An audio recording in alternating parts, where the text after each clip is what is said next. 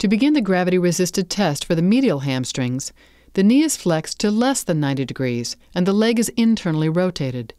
The patient maintains the leg in flexion and internal rotation against the resistance of the clinician.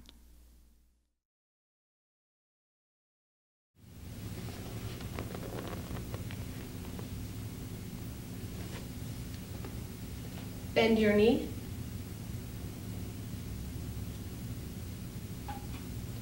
Hold it. Don't let me straighten it.